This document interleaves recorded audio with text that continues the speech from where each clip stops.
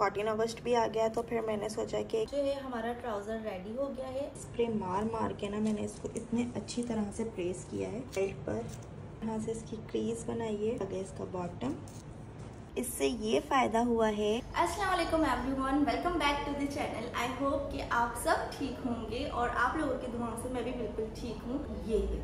ठीक है और वैसे भी आपको टाइटल देखकर तो पता चल गया होगा। आज जो है मैं आप लोगों को बताऊँगी कि आप प्लेन फैब्रिक पर किस तरह से लेसेस की हेल्प से, टक्स की हेल्प से डिज़ाइनिंग दे सकते हैं? लाइक प्लेन सूट तो आजकल बहुत ट्रेंडिंग में चल रहा है। उसके ऊपर किस तरह की डिज़ाइनिंग आ सकती है और उस डिज़ाइन को किस तरह हम बनाएँगे? तो फुल कटिंग एंड स्टिचिंग की वीडियो में बना रही हूँ आप लोगों के लिए। तो वीडियो को पूरा देखिएगा और अगर अभी तक चैनल सब्सक्राइब नहीं किया है ना तो जल्दी से लाओ। पहले चैनल को सब्सक्राइब करो, वीडियो को लाइक करो और इस वीडियो को अपने फ्रेंड्स एंड फैमिली के साथ ज़रूर शेयर कर देना। हम शुरू करेंगे अपनी कटिंग एंड स्टिचिंग की video so this is a fabric ये ग्रीन कलर का है लाइक काई ग्रीन कलर है ये। और इस सेम इसका ही हम ट्राउज़र भी बनाएँगे और शर्ट भी इसी की बनाएँगे। डिज़ाइनिंग हम देंगे सिर्फ़ शर्ट पर। ट्राउज़र हमारा प्लेन होगा लाइक बॉक्स ट्राउज़र होगा। शर्ट की स्लीव्स पर डिज़ाइन आएगा और नेक पे डिज़ाइन आएगा। तो वो सारा कुछ आपके साथ शेयर करूँगी। ट्राउज़र बनाना सिखाऊँगी कटिंग विद स्टिचिंग हमारा कपड़ा जिस पे हम करेंगे अपनी स्टिचिंग और ये टोटल कपड़ा जो है पाँच मीटर है लाइक ढाई मीटर इसका ट्राउज़र बनेगा और ढाई मीटर की शर्ट बनेगी। और ये मैंने लिया है फिफ्टीन हंड्रेड का। मैंने एक ही जगह पूरा कपड़ा कटवा लिया था। ताकि अगर इसमें से बचेगा तो फिर मैं रिदा का भी बनाऊँगी। ठीक हो गया और इसके अलावा इसके साथ में लाई हूँ ये लेसेस। एक जॉइंट लेस मैंने ली है और एक नीचे किनारी पे लगाने वाली लेस ली है। ये दोनों लेसेस मैंने ली हैं, डेढ़ डेढ़ मीटर लाइक डेढ़ मीटर ये ली है और डेढ़ मीटर ही ये वाली ली है और एक सौ की ये दोनों लेसेस मुझे पड़ी हैं। ठीक है तो अब हम अपनी स्टार्ट करते हैं स्टिचिंग सबसे पहले स्टिच करेंगे हम अपना ट्राउज़र साथ स्टिच करेंगे शर्ट ठीक है, दोनों एक साथ स्टिच नहीं करके दिखा रही, क्योंकि वीडियो काफ़ी लंबा हो जाता है। फिर मुझे भी प्रॉब्लम होती है एडिट करने में और आप लोगों को भी देखने में मज़ा नहीं आता। तो इस वजह से एक वीडियो में बनाऊँगी ट्राउज़र की और उसके नेक्स्ट डे आपको इनशाला शर्ट की वीडियो देखने को मिल जाएगी। फोर्टीन अगस्त भी आ गया तो फिर मैंने सोचा कि क्यों ना यही मतलब यही कलर का ड्रेस बना लिया जाए। फोर्टीन अगस्त पे भी पहन लिया जाएगा और ये ऐसा कलर है कि आप आम दिनों में भी कैजुअल में भी पहन सकते हो। सबसे पहले जो है, मैं आपको ये बता दूँ कि आज जो ट्राउज़र बन रहा है, वो मीडियम साइज़ का बन रहा है और मीडियम साइज़ का सारा इंचेस जो है, सारी मेजरमेंट्स मैंने यहाँ लिख ली हैं। अगर आपका मीडियम साइज़ है तो आप ये मेजरमेंट्स नोट डाउन कर सकते हो। इलास्टिक के ऊपर की पट्टी होगी आपकी टू इंचेस की, घेर होगा इलेवन आसन thirteen thighs thirteen thighs thirteen का हाफ़ सिक्स पॉइंट फाइव ये मैं आपको आगे चल के बताऊँगी कि ये क्या है। देन ट्राउज़र की फुल लेंथ आ गई थर्टी सिक्स इंच और पैंचा आज मैं पैंचा जो है थोड़ा बड़ा बनाऊँगी लाइक थोड़ा पैंचा बड़ा होगा हमारा क्योंकि शॉर्ट शर्ट है उसके साथ बड़े पैंचे का ट्राउज़र बना रही हूँ टेन इंचेस का।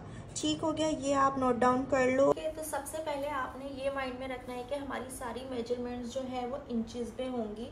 तो जहाँ ज़्यादा मेज़रमेंट करनी होगी, वहाँ मैं इंची टेप का यूज़ करूँगी और जहाँ कम होगी तो वहाँ पे मैं ये स्केल यूज़ करूँ बैक वाला साइड मैंने इस तरह नीचे रखा है और ये हो गया हमारा फ्रंट साइड टू इंचेस ठीक है? टू इंचेस यहाँ से बढ़ती है और आगे का भी टू ही इंचेस हम बढ़ती लेंगे। हो गया हमारा बैक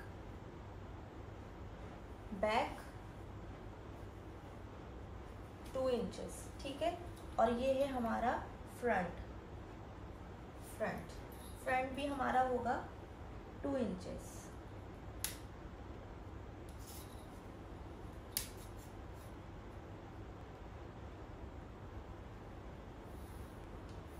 भी टू इंचेस और फ्रंट भी टू इंचेस हम अपनी मेजर करेंगे अपना घेर लाइक ये वाला।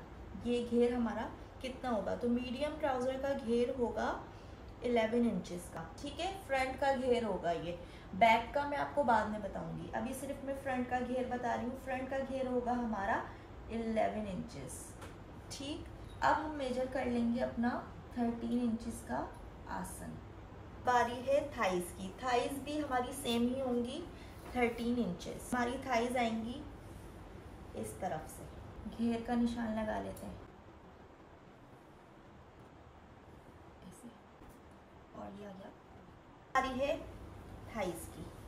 तो थाइज हमारी होंगी टोटल थर्टीन इंचज हमने निशान थर्टीन इंचज पर।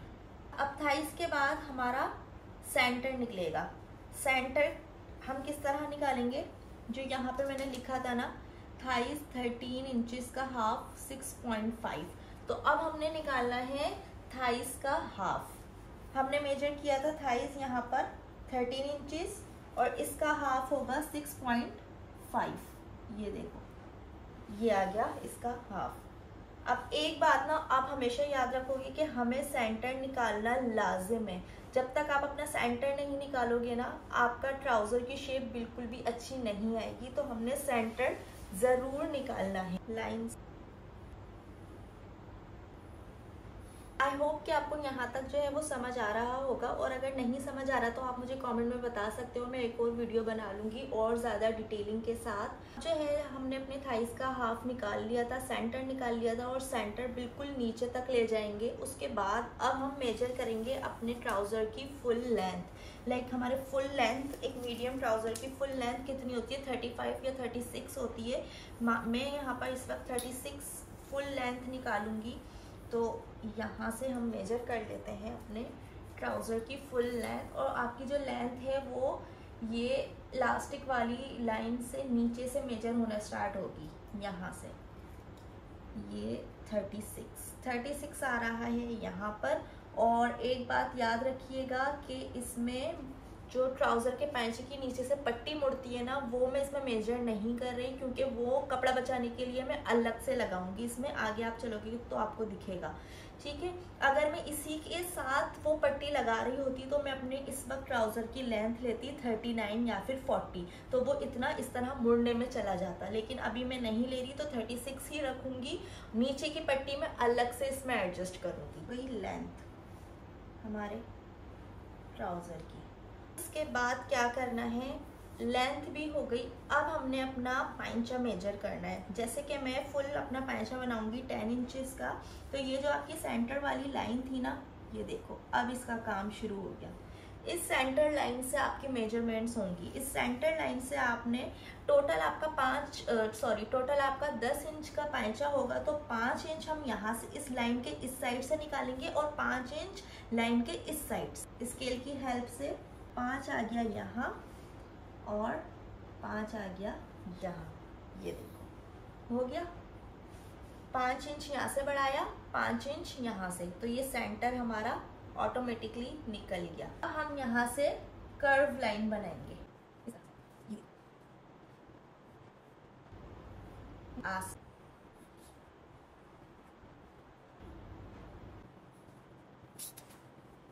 तो यस अब फाइनली हमारी मेजरमेंट्स जो हैं वो कंप्लीट हो चुकी हैं। अब हम चलते हैं अपनी कटिंग की तरफ़। तो कटिंग हमने कैसे करनी है? गौर से सुन लो मेरी बात को। इस तरफ़ से तो हमने दोनों साइड्स को लाइक बैक को और फ्रंट को एक साथ काटना है।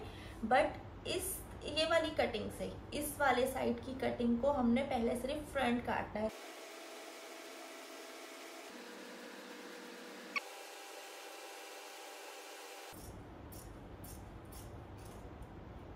आई होप कि आपको समझ आ रहा होगा। बैक साइड की कटिंग होगी। इससे टू टू इंच बढ़ती हुई। टू इंचेस से भी टू इंचेस टू और जैसे जैसे ये नीचे पैंचे की तरफ़ जाता रहेगा ना तो हमारी ये चीज़ कम होती रहेगी, क्योंकि पैंचे तक इतनी ज़्यादा इंचेस मतलब इतने ज़्यादा बढ़ती हुई कि हमें कोई ज़्यादा खास नीड नहीं होती। ठीक है तो ये आप चेक करें। ये मैं जो है इसको कम करती जा रही हूँ, जिस तरह से हमारी लाइन जो है वो नीचे पैचे तक जाएगी, हमारी कपड़ा जो है हम कम करते जाएँगे। इसको भी कटिंग कर देंगे।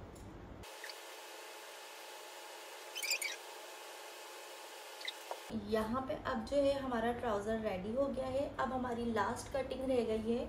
वो होगी हमारी बेल्ट की तरफ़ से, ठीक है? बेल्ट की तरफ़ से हमने किस तरह से? बैक साइड पे, जो बैक लिखा हुआ है ना, यहाँ से हमने कटिंग करनी है, किस तरह करनी है? यहाँ से आसन तो ये हमारा आसन है, ये चीज़ तो आपको पता होगी, ठीक है? आसन की तरफ़ से हमने बढ़ती रखना है कपड़ा, और यहाँ से बिल्कुल कम रखना है तो लाइक कर्व में हमारी शेप आएगी। ये शेप आएगी हमारी। कटिंग करके भी दिखा देती हूँ।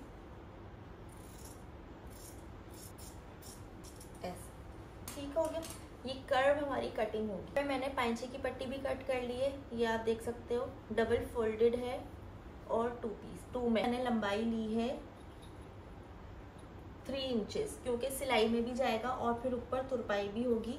तो ये हमारा ढाई इंच बचेगा। उस सारी आ जाएगी नीचे। पैंचों में जो कि हम अलग से लगाएँगे। यहाँ हमारी कटिंग जो है वो कंप्लीट हो चुकी है।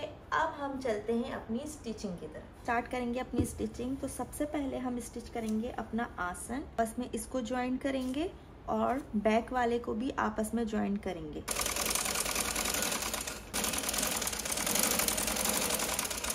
फ्रंट वाला हिस्सा है। इसकी हमने सिलाई लगा ली है और इसको अब मैं ओपन करूँगी। ये देखो। ये कुछ इस तरह से इसका लुक आया है। ये देखो, ये हो गई आसन की सिलाई, फ्रंट की। सिलाई भी मैंने लगा ली है। ये फ्रंट वाला आ गया बैक के ऊपर। यहाँ किनारी से मिलाएँगे। तो अब आप देखें कि मेरी ये आसन की सिलाई और ये साइडों की सिलाई, ये हो चुकी है कंप्लीट। अब इसका लुक कुछ इस तरह से आ रहा है। पैंचे आ गए इसके। ये। ठीक इस तरह से ट्राउज़र की लुक आ रही है। हम मोड़ेंगे इस तरह से। ये फोल्ड किया एक और फिर ऐसे। अच्छा एक चीज़ ना मैं आप लोगों के साथ शेयर करना भूल गई थी, मुझे अभी एकदम याद आई है तो मैंने सोचा मैं आपको अभी बता दूँ। हमने ना ये साइडें और आसन जोड़ने के बाद यहाँ बीच में एक प्लेट देनी है। इस वाले कोने को और इस वाले सेंटर वाले कोने को आपस में मिलाएँगे। जो सेंटर निकलेगा, वहाँ से लेकर आपने छः इंच की प्लेट डालनी है यहाँ और दूसरी यहाँ। ठीक है दो प्लेटें आएँगी यहाँ पर। तो यहाँ मैंने बेल्ट के टक्स डाल लिए हैं। इस तरह से ये डलेंगे। ये देखो, मैंने निशान लगा लिया था यहाँ तक के। यहाँ से जब आप सिलाई स्टार्ट करोगे ना तो ये ज़्यादा गैप होगा।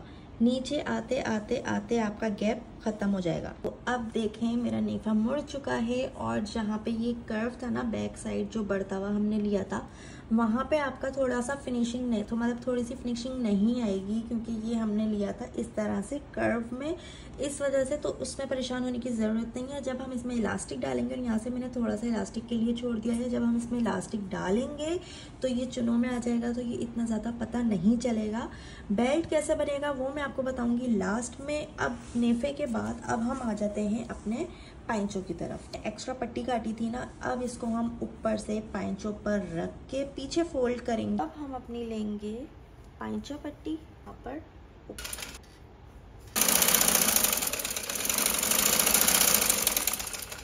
ये सिलाई यहाँ पे ये लग चुकी थी। उसके बाद मैंने इसको यहाँ से पीछे पलट के बिल्कुल अच्छे से इस्त्री मारी है इस पैंचे पर। साइड है ना?